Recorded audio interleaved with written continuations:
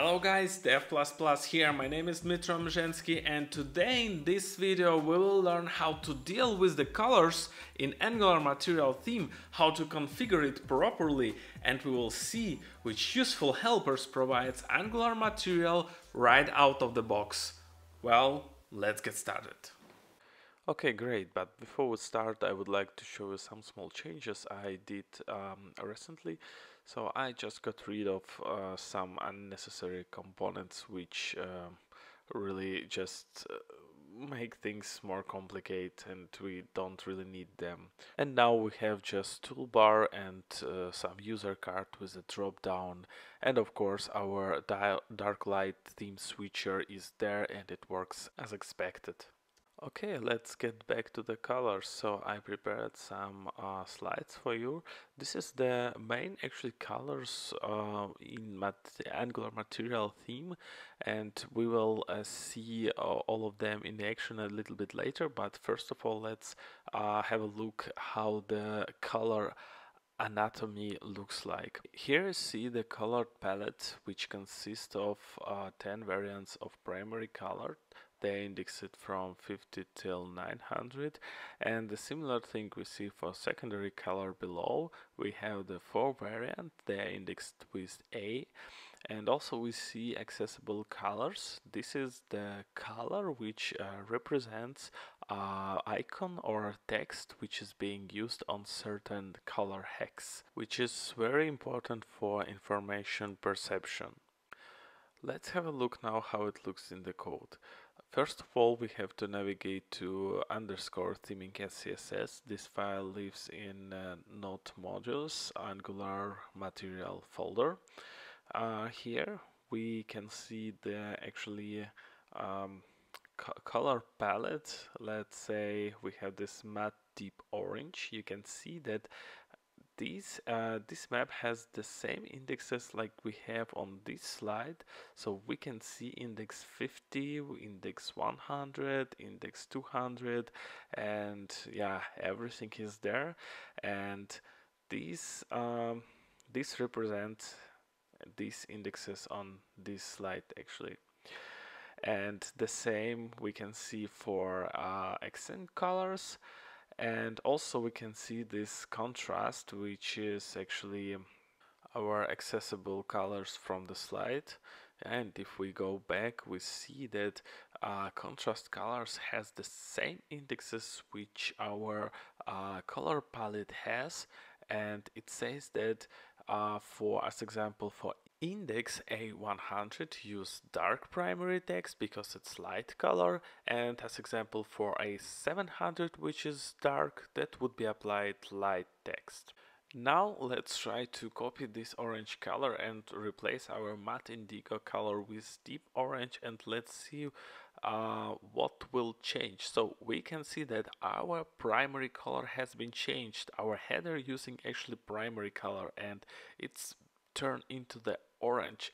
And uh, the same we can do actually for the uh, accent color. And I will grab some mat teal I don't know if it looks nice with this color but you I just want to show you that yeah that how, how it works. So I think you get the idea. You have probably noticed that this mat palette function has some additional parameters and what happens if we add as example 700 as a second parameter? Do you see? Our color became darker a little bit and what happens if we put 100? It became completely light. So this index, it actually represents our default uh, primary color and by default it's 500 and the lighter version is 100 the darker version 700 and we have also the text color which has some default value and you can also see some other keys which generate this mat palette. Uh, you can see some default lighter darker text and we will see this uh, this everything in action a little bit later for now, let's go back to our style SCSS file and create our completely new color palette. For this we will be using some online generator. I will uh, add the link to this generator in the video description. Here you can just, uh, I don't know, put any color you like and it will automatically generate the palette based on your color which you uh, choose. And you can uh, click export button and export this exactly in format which we need for Angular Material 2 and we can copy this and paste somewhere uh, under the mat core copy this variable and paste into um, our mat palette function. And let's see if it works. Yeah we can see our nice green color here and it works fine. So you can uh, this way generate uh, your um, any color you like. And yeah that's how it works actually.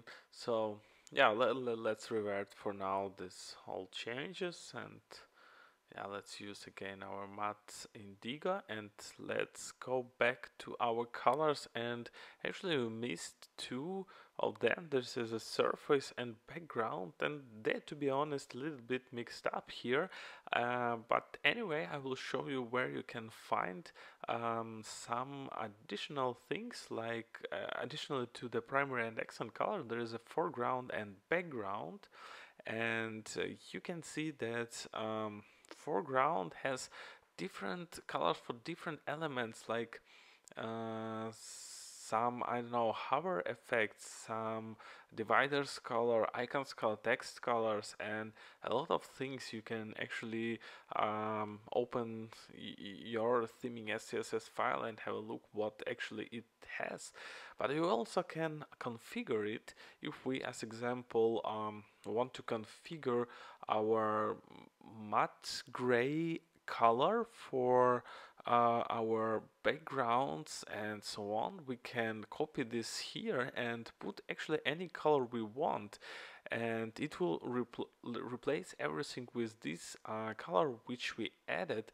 And to prove that it works we can just change the color of our card and let's see how it changes its background yeah and actually we don't need everything. If we want to override some certain uh, color we can use it like this yeah? Just the key what we want to override and the color and that's pretty much everything what we need. And you you can see that our card got this uh, mat gray 300 color. So that's how it actually works the last but not least thing I would like to show you is uh, how to reuse some functions from Angular material and this will be the function um, called mat color.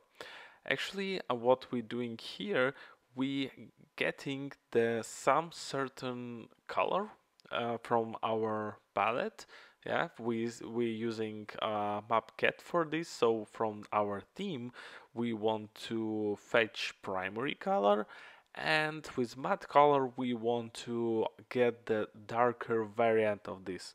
Oops that's of course wrong. Uh, it should be there and we can see that uh, our background got the darker primary color and if we change it with the light one it will be obviously lighter. And also we can use default and now it's like the our regular uh, primary uh, color. And also for secondary it's applicable as well but not uh, secondary sorry it's accent color. And you can see after reload that it works as we expected so that was it. I hope you learned something new and if so just hit the subscribe button because a lot of interesting things are coming and you definitely don't want to miss it. And guys, one more time, thank you for your attention and see you in the future.